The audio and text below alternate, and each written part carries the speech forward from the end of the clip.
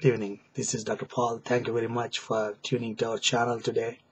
And today I want to talk a few minutes about psittacosis. Before I go further, I request you to visit our website at uh, www.usmlevideos.net.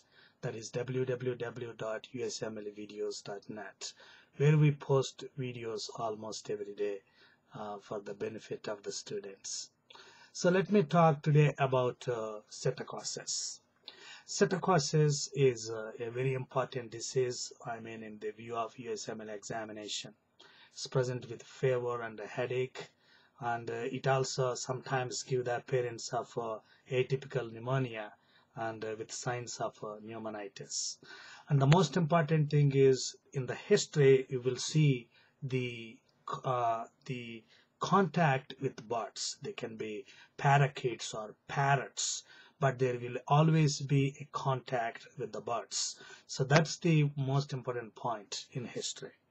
So psittacosis is acquired from the contact with birds like parrots, parakeets, chickens, pigeons, and ducks. So these birds, people handle these birds and get this disease.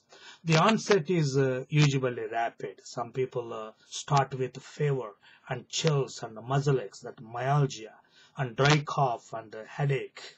And when you see these patients, you see temperature pulse dissociation. That means with the rise of temperature, you don't see the rise of pulse proportionately. And some of these patients develop shortness of breath and cyanosis. The other important thing is they develop culture negative endocarditis. That's remember that point. They develop culture negative endocarditis and this looks like an atypical pneumonia because uh, they, they develop interstitial uh, and diffuse appearance and some of them develop consolidation on chest x-ray. But it is indistinguishable from bacterial pneumonia or viral pneumonia. So by if you take an x-ray chest x-ray in these patients it might look like just like a bacterial or viral pneumonia.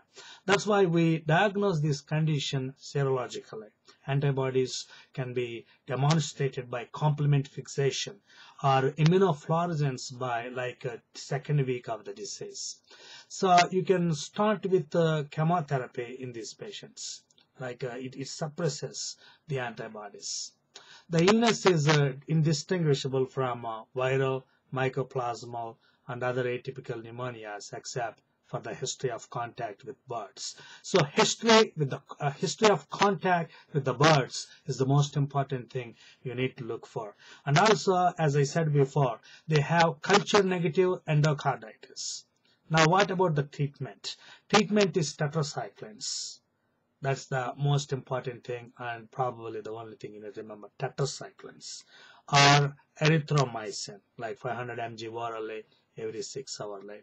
So doxycycline should be given like 14 days.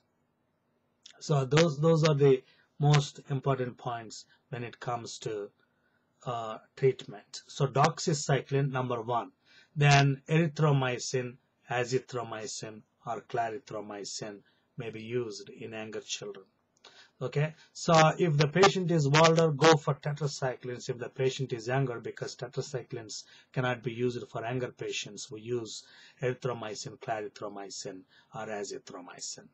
So those are the most important uh, things you need to remember. Chlamydia um, chlamydia psittaci is the organism that causes psittacosis it's an obligate intracellular parasite when it comes to the microbiology and as I said it comes with a contact with the birds and uh, patients get a picture of uh, atypical pneumonia uh, which is indistinguishable from viral pneumonia or bacterial pneumonia on a chest x-ray. And uh, you diagnose it with complement fixation the serological demonstration of antibodies by the second week of the illness and then you treat them with uh, a tetracycline like a doxycycline. And if the patient is young you treat them with uh, azithromycin or clarithromycin or erythromycin. Those are the important points you need to remember when it comes to psittacosis thank you very much and uh, please feel free to visit us at our website www.usmlevideos.net and uh, thank you very much